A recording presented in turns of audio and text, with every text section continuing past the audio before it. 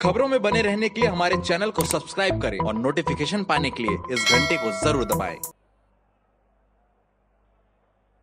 दूसरी शक्तियाँ इस देश को कमज़ोर करने में लगी हैं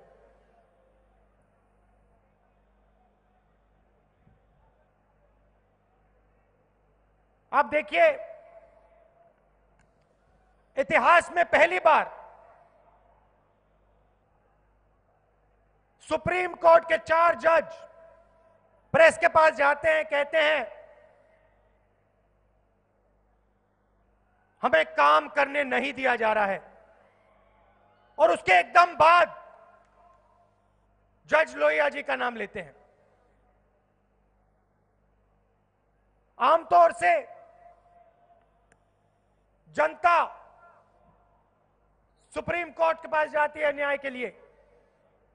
आज के हिंदुस्तान में सुप्रीम कोर्ट के जज जनता के सामने न्याय मांगते हैं। और ये सिर्फ़ सुप्रीम कोर्ट के साथ नहीं हो रहा है। जहाँ भी आप देखें, हिंदुस्तान की संस्थाओं पर इंस्टीट्यूशंस पर आक्रमण चालू है।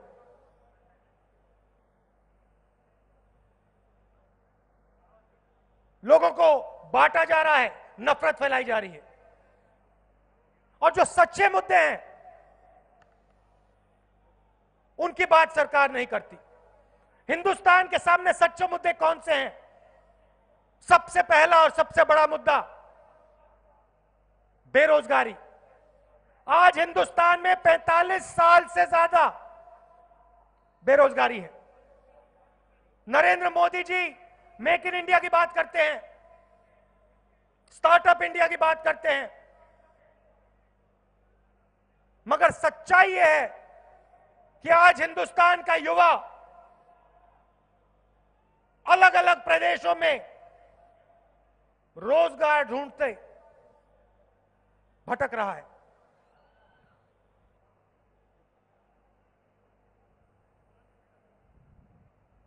चार सौ पचास युवाओं को 24 घंटे में नरेंद्र मोदी जी की सरकार रोज़गार देती है। दूसरी तरफ़, किसानों का मुद्दा। गुजरात के चुनाव में हमने किसानों की बात की और किसानों ने गुजरात में हमारा, हमारी पूरी समर्थन की। और किसानों के सामने कौन से मुद्दे हैं? नरेंद्र मोदी जी तीन लाख पचास हज़ार करोड़ रुपए पंद्रह लोगों का कर्जा माफ़ कर सकते हैं। हिंदुस्तान के सबसे अमीर लोगों का। मगर हिंदुस्तान के किसान का कर्जा माफ़ नहीं कर सकते। एक रुपया कर्जा माफ़ नहीं कर सकते। हैं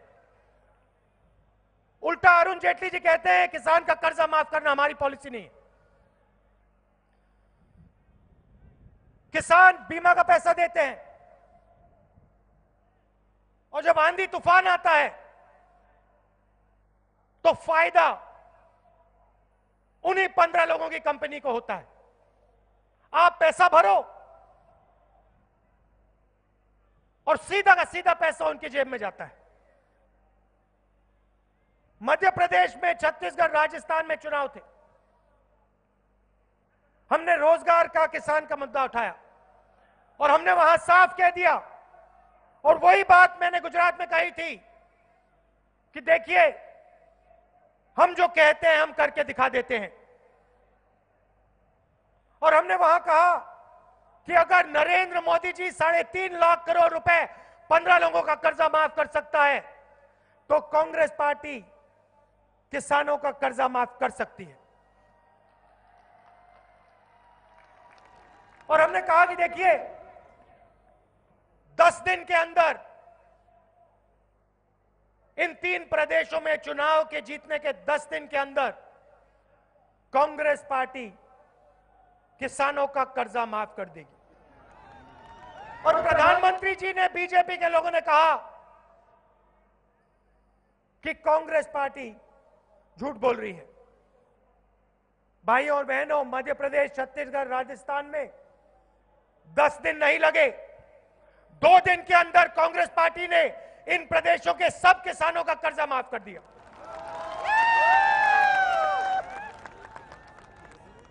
और मुझे दुख होता है कि गुजरात के किसानों का कर्जा हम माफ़ नहीं कर पाए। क्योंकि मैं जानता हूँ कि आपको भी ज़रूरत है। नरेंद्र मोदी जी ने नोटबंदी की, बिना किसी से पूछे। आठ बजे रात को अनाउंसमेंट करते हैं कि पाँच सौ रुपए का, हज़ार रुपए का नोट रद्दी हो रहा है। और गुजरात का जो एंटरप्रेन्योरियल स्पिरिट है, जो इनोवेटिव स्पिरिट है, गुजरात के छोटे दुकानदार स्मॉल और मीडियम साइज़ बिज़नेस जो आपकी रीढ़ की हड्डी है, उस रीढ़ की हड्डी को एक दिन में नरेंद्र मोदी ने तोड़ दिया। करोड़ों लोगों को बेरोजगार किया। हँसते हुए किया।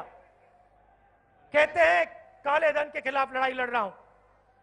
और मैं आपसे पूछना चाहता हूँ, गुजरात की जनता से पूछना चाहता हूँ, क्या उस भीड़ में जो बैंक के सामने खड़ी थी, क्या उस भीड़ में आपने हिंदुस्तान के काले धन वालों को देखा? क्या आपने अनिल अंबानी को देखा? नीरव मोदी को देखा? मेहुल चौकसी को देखा? नहीं।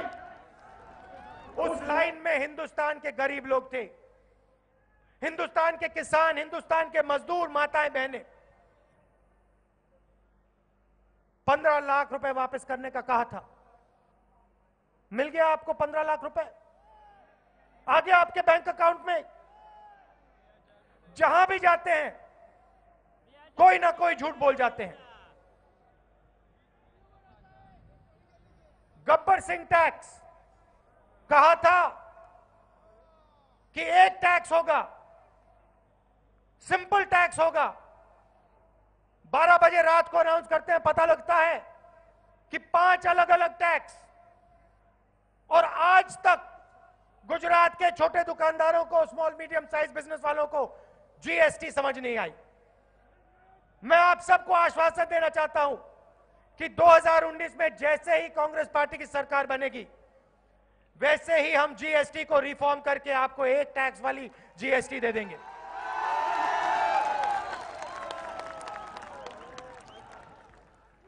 मगर नरेंद्र मोदी जी सच्चे मुद्दों की बात नहीं करना चाहते।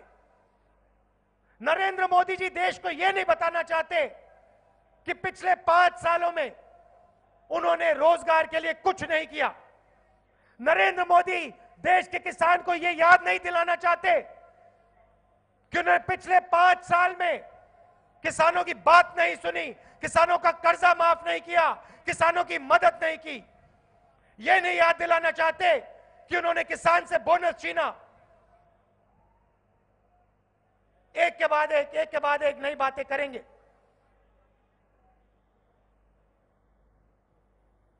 आपने, आपको याद होगा 2014 के चुनाव में प्रधानमंत्री मत बनाओ, चौकीदार बनाओ।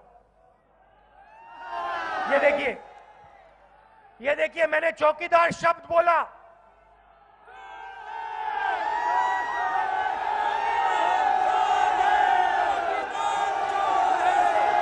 ये देखिए, चौकीदार। तो अब कुछ और बोलने की ज़रूरत नहीं होती। सिर्फ़ चौकीदार जवाब मिलता है। और फिर हर स्टेज से नरेंद्र मोदी देशभक्ति की बात करते हैं। हर स्टेज से नरेंद्र मोदी बोलेंगे कि मैं देशभक्त हूँ।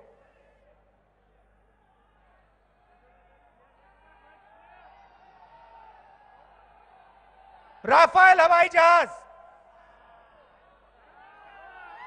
नरेंद्र मोदी वायुसेना की प्रशंसा करते हैं।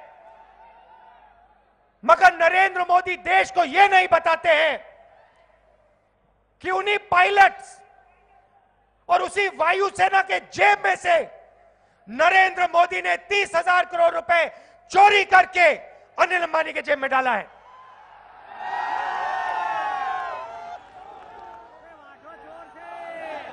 देखिए, मनमोहन सिंह जी बैठे हैं। मनमोहन सिंह जी बैठे हैं। एंटनी जी बैठे हैं। यूपीए के समय एंटनी जी ने, मनमोहन सिंह जी ने, एक राफेल के लिए 526 करोड़ रुपए देने के तय किए थे। मनमोहन सिंह जी ने कहा था कि एचएल कंपनी, हिंदुस्तान की सरकारी कंपनी, जिसने 70 साल से हवाई जहाज़ बनाए, जिसके हवाई जहाज़ ने पाकिस्तान में जाके बम गिराए, मिराज हवाई जहाज़ उस कंपनी को राफेल का कॉन्ट्रैक्ट मिलेगा। भाई और बहनों, अनिल अंबानी ने ज़िंदगी में हवाई जहाज़ नहीं बनाया है। और मैं गारंटी करके कहता हूँ, अगर अनिल अंबानी जी को आपने एक कागज़ दे दिया, और उन्होंने कहा उनको कहा कि भैया, कागज़ का हवाई जहाज़ बनाओ, अनिल अंबानी जी कागज़ का हवाई जहाज़ नहीं बना पाएँगे। बैंक का पैंतालीस हज़ार करोड़ रुपए कर्जा है उन पर।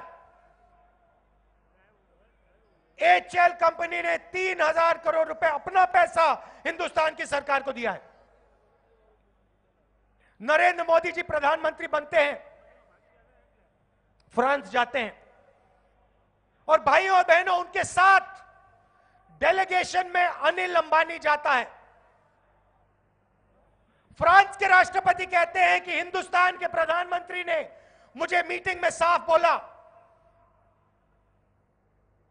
एचएल को कॉन्ट्रैक्ट नहीं मिलेगा, अनिल अंबानी को राफेल का कॉन्ट्रैक्ट देना पड़ेगा, और 526 करोड़ का हवाई जहाज़ नहीं खरीदिए 1600 करोड़ रुपए का हवाई जहाज़ खरीदिए। फ्रांस के राष्ट्रपति ने यह बात बोली, होलैंड नाम है, इंटरनेट पर जाके देख लीजिए। सीबीआई का सीबीआई का डायरेक्टर जाँच करना चाहता है। डेढ़ बजे रात को नरेंद्र मोदी जी उसको निकाल देते हैं। उसके बाद सुप्रीम कोर्ट कहता है कि सीबीआई डायरेक्टर को रीइंस्टेट करो, वापस लाओ। खारगे जी बैठे हैं। कमेटी पे हैं। घंटों में नरेंद्र मोदी जी ने सीबीआई डायरेक्टर को निकाल दिया। घंटों में दूसरी बार निकाल दिया। क्योंकि सीबीआई डायरेक्टर राफेल पे इंक्वायरी करने जा रहा था। गुजरात की जनता, आप मुझे बताइए, नरेंद्र मोदी जी ने आपको वायदा किया था? हम सबको वायदा किया था कि वो भ्रष्टाचार के खिलाफ लड़ेंगे। गुजरात की जनता को नरेंद्र मोदी जी से पूछना चाहिए। आपने एयरफोर्स के शहीदों का तीस हज़ार करोड़ रुपए उनसे छीन कर अनिल अंबानी को क्यों दिया? किस बेसिस पे दिया? डिफेंस मिनिस्ट्री के डॉक्यूमेंट से हिंदू अखबार में पढ़ लीजिए। साफ़ लिखा है। डिफेंस मिनिस्ट्री के लोगों ने साफ़ डॉक्यूमेंटेशन में लिखा है कि नरेंद्र मोदी चौकीदार ने पैरेलल नेगोशिएशन फ्रांस की सरकार के साथ किया। एयरफोर्स के लोगों ने एयरफोर्स के डॉक्यूमेंटेशन में साफ़ लिखा है कि चौकीदार। अच्छा देशभक्ति की बात करते हैं। पुलवामा में बम अटैक हुआ। मसूद अजहर ने बम अटैक किया। और मैं गुजरात से नरेंद्र मोदी से सवाल पूछना चाहता हूँ। इस मसूद अजहर को हिंदुस्तान की जेल से पाकिस्तान किसने भेजा? बीजेपी की सरकार ने, वाजपेयी जी की सरकार ने स्पेशल हवाई जहाज़ में मसूद अजहर को डालकर उसको पैसा देकर कांदाहार पहुँचाया। और नरेंद्र मोदी जी, आपके जो एनएसए है national security adviser Doval ji, वो मसूद अजहर के साथ हवाई जहाज़ में एस्कॉट बनकर कांदाहार गए। आप देश को समझाइए कि उन 40-45 शहीदों को जिस व्यक्ति ने मारा उस व्यक्ति को आपने हिंदुस्तान से स्पेशल हवाई जहाज़ में भेजकर भेज, वापस भेजा। आप देश को यह बताइए। देशभक्ति की बात करते हैं ना तो देश को बताइए कि मसूद अजहर को आपकी सरकार ने पाकिस्तान भेजा था। मसूद अजहर को पकड़ा किसने था? कांग्रेस पार्टी ने पकड़ा था जेल में हमने उसको डाला था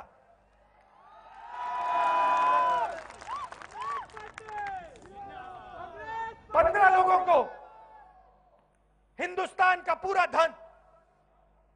भाइयों और बहनों, देखिए, जिस दिन पाकिस्तान के खिलाफ लड़ाई हो रही थी, अखबार पढ़ लीजिए, उसी दिन नरेंद्र मोदी जी ने अपने मित्र को हिंदुस्तान के पाँच एयरपोर्ट हवाले कर दिए। दो हिंदुस्तान बनाना चाहते हैं। एक हिंदुस्तान, अनिल अंबानी वाला मेहुल चौकसी वाला, नीरव मोदी वाला, नरेंद्र मोदी वाला, सूट बूट वाला, और दूसरा हिंदुस्तान किसानों का, मजदूरों का, छोटे दुकानदारों का, छोटे बिज़नेस वालों का मिडिल साइज़ बिज़नेस वालों का, युवाओं का। उनके लिए लाखों करोड़ रुपए, उनके लिए कर्जा माफ़, उनके लिए प्राइवेट हवाई जहाज़ एयरपोर्ट पोर्ट जो चाहिए। आपकी ज़मीन, जंगल जल जो भी उनको चाहिए, बिजली और आपके लिए नोटबंदी, गब्बर सिंह टैक्स आत्महत्या आपके बच्चों को स्कूल जाना हो, कॉलेज जाना हो, जेब से लाखों रुपए पहले निकालो और उन्हीं पंद्रह लोगों को दो। परिवार में कोई बीमार होगा, कैंसर होगा, कैट स्कैन की ज़रूरत, एमआरआई की ज़रूरत, प्राइवेट अस्पताल में जाओ और उन्हीं पंद्रह बीस लोगों को पहले पंद्रह लाख, बीस लाख रुपए दो, फिर एमआरआई कराओ ऑपरेशन कराओ। ऐसा हिंदुस्तान हमें नहीं चाहिए और ऐसा हिंदुस्तान हम नहीं बनने देंगे। कुछ भी हो जाए।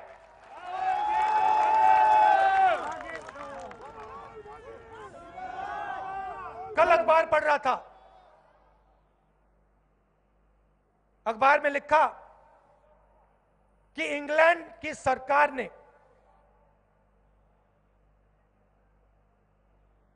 हिंदुस्तान की सरकार को मैसेज भेजा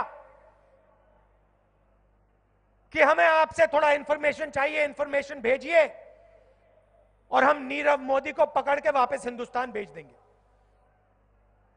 इंग्लैंड की सरकार कह रही है कि हिंदुस्तान की सरकार ने रिक्वेस्ट का जवाब नहीं दिया।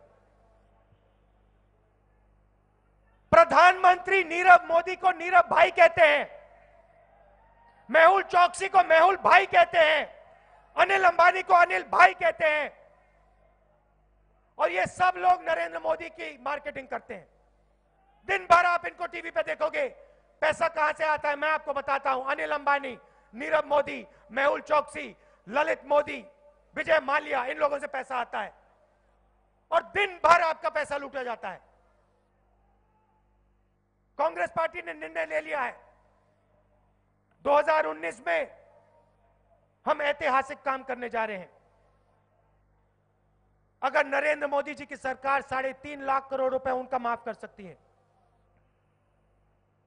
अगर अमीर लोगों को वो पैसा दे सकते हैं तो कांग्रेस पार्टी हिंदुस्तान के गरीब लोगों को, किसानों को, मजदूरों को, छोटे दुकानदारों को पैसा दे सकती है।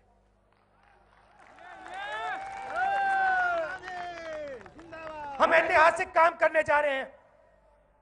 और गुजरात के हर गरीब को मैं आश्वासन देना चाहता हूँ। 2019 की सरकार बनेगी।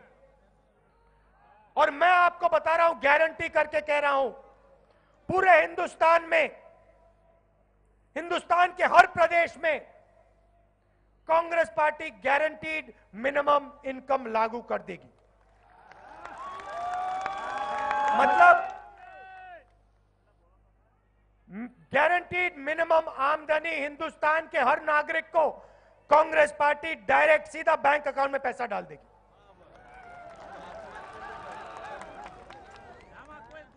ऐतिहासिक काम है। कांग्रेस पार्टी ही कर सकती है। कांग्रेस के कार्यकर्ताओं को मैं मैसेज देना चाहता हूँ। देखिए, गुजरात का चुनाव हुआ। और आप लड़े। बब्बर शेर जैसे कांग्रेस के सब वर्कर एक होकर आप लड़े।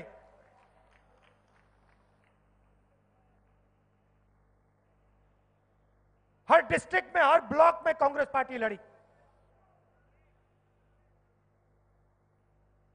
और बीजेपी के लोग बच के निकले।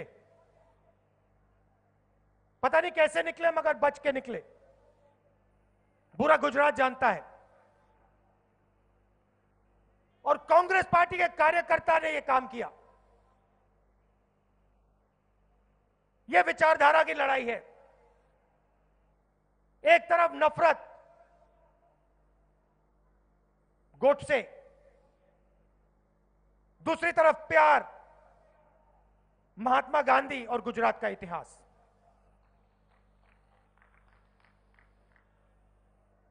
और जीत महात्मा गांधी की होगी, प्यार की होगी, भाईचारे की होगी, कांग्रेस पार्टी की होगी। गुजरात की होगी।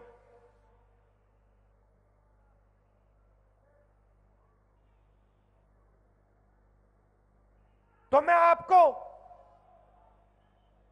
यह कहना चाहता हूँ कि चुनाव में आप गुजरात के हर घर में जाओ। गाँव में, शहरों में जाओ। और गुजरात की जनता को बताओ कि पिछले पाँच साल से नरेंद्र मोदी जी वायदे कर रहे हैं। मेक इन इंडिया का वायदा किया। 45 साल से सबसे ज़्यादा बेरोजगारी। किसानों के लिए वायदे किए, एक वायदा पूरा नहीं किया। पंद्रह लाख रुपए का वायदा किया, वो पूरा नहीं किया। और दूसरी तरफ़ जो कांग्रेस पार्टी कहती है, वो करके दिखा देती है। हमने छत्तीसगढ़, मध्य प्रदेश, राजस्थान में किसानों से वायदा किया। दो दिन में हमने पूरा कर दिया। जो हम कहते हैं, वो हम करके दिखा देते हैं। और इस चुनाव में सच्चाई की जीत होने वाली है। नरेंद्र मोदी जी और नफरत की हार होने वाली है। कांग्रेस पार्टी के सब कार्यकर्ताओं को मैं दिल से धन्यवाद करता हूँ कि आप हमारी विचारधारा के लिए लड़ते हो और आने वाले चुनाव में आप यहाँ पूरी की पूरी सीटें कांग्रेस पार्टी को जिता के दोगे। आप सबका दिल से बहुत बहुत धन्यवाद। नमस्कार। जय हिंद। आप सब यहाँ इतनी तादाद में आए हैं। मैं दिल से आपको कहना चाहती हूँ कि इससे बड़ी कोई देशभक्ति नहीं है कि आप जागरूक बने। आपकी जागरूकता एक हथियार है। आपका वोट एक हथियार है। लेकिन ये एक ऐसा हथियार है जिससे किसी को चोट नहीं पहुंचानी। किसी का दुख नहीं करना, किसी का नुकसान नहीं पहुंचाना। ये एक ऐसा हथियार है जो आपको मज़बूत बनाएगा। आपको बहुत गहराई से सोचना पड़ेगा कि ये चुनाव क्या है। इसमें आप क्या चुनने जा रहे हैं? आप अपना भविष्य चुनने जा रहे हैं। फिजूल के मुद्दे नहीं उठने चाहिए। जो मुद्दे उठने चाहिए, वो ये होने चाहिए कि आपके लिए सबसे महत्वपूर्ण क्या है? आप आगे कैसे बढ़ेंगे? नौजवानों को रोज़गार कैसे मिलेगा? महिलाएँ सुरक्षित कैसे महसूस करेंगी अपने आप को? आगे कैसे बढ़ेंगी? किसानों के लिए क्या किया जाएगा? ये चुनावी मुद्दे हैं। और आपकी जागरूकता ही इन मुद्दों को आगे ला सकती है। तो मैं आपसे आग्रह करना चाहती हूँ कि सोच समझ के इस बार आप निर्णय लें। जो आपके सामने बड़ी बड़ी बातें करते हैं, बड़े बड़े वादे करते हैं, उनसे पूछिए, जो दो करोड़ रोज़गार उन्होंने आपको जिनका उन्होंने आपको वचन दिया था, वो रोज़गार कहाँ है? उनसे पूछिए कि जो पंद्रह लाख आपके खाते में आने थे, वो पंद्रह लाख कहाँ गए? जिन महिलाओं की सुरक्षा की बात करते थे, उन महिलाओं को किसने पूछा है इन पाँच सालों में? सही सवाल करिए इस चुनाव में। आगे आने वाले दो महीनों में आपके सामने तमाम मुद्दे उछाले जाएँगे। आपकी जागरूकता ही इस देश को बनाएगी। ये आपकी ज़िम्मेदारी है। आपकी देशभक्ति इसी में प्रकट होनी चाहिए। गुजरात में सीट अभी हुई है। तो कितनी अपेक्षा रखते हैं जो चुनाव गुजरात की चुनाव की प्रचार की शुरुआत आज हुई है पूरे देश के प्रचार की शुरुआत? क्या अपेक्षा रखते हैं? नहीं अच्छा काफ़ी अच्छा आउटकम है। मुद्दे तो क्लियर है। बेरोजगारी का मुद्दा है। 45 साल से सबसे ज़्यादा बेरोजगारी आज हिंदुस्तान में नरेंद्र मोदी जी की सरकार के समय। किसानों का मुद्दा आप जानते हैं। और फ्रैंकली मतलब मेन मुद्दा मुद्दा, और गुजरात की जनता को नहीं, ठीक है भैया? गुजरात की जनता को तो ये मालूम है कि अनिल अंबानी को नरेंद्र मोदी जी ने, अनिल भाई को नरेंद्र मोदी जी ने तीस हज़ार करोड़ रुपए एयरफोर्स का पैसा दिया। पूरा वहाँ पे बाईपास किया। डिफेंस मिनिस्ट्री के डॉक्यूमेंट से हिंदू अखबार में आए हैं कि prime minister personally Anil Ambani की मदद कर रहे थे। तो ये मेन मुद्दे हैं। और गुजरात की जनता काफ़ी मतलब इंटेलिजेंट है समझती है कि नरेंद्र मोदी ने राफेल मामले में बदमाशी तो की है।